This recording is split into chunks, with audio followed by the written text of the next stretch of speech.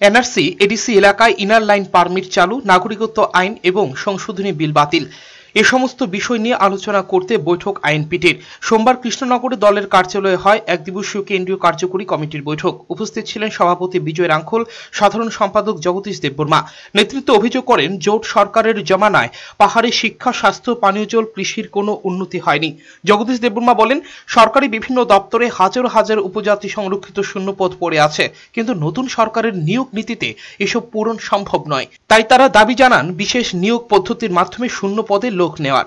রাজ্য সরকারের বিভিন্ন দপ্তরে এ যাবৎ আমরা বিভিন্ন তথ্যের মাধ্যমে আমাদের নলেজে রয়েছে, প্রায় চৌত্রিশ হাজার তপশিলি উপজাতির সংরক্ষিত চাকরির পদ রয়েছে। এগুলিকে স্পেশাল রিক্রুটমেন্ট ড্রাইভের মাধ্যমে অবিলম্বে নিয়োগ করা। কারণ আমরা জানি, ত্রিপুরাবাসী জানে রাজ্যের নতুন বিজেপি আইপিএফটি জোট সরকার, যেটা নিয়োগ ক্ষেত্রে নতুন নিয়োগ নীতি তারা প্রণয়ন করেছে। এই নতুন নিয়োগ নীতিতে আমাদের চৌত্রিশ হাজার সংরক্ষিত ব্যাকলগ এটা পূরণ করা সম্ভব হবে না।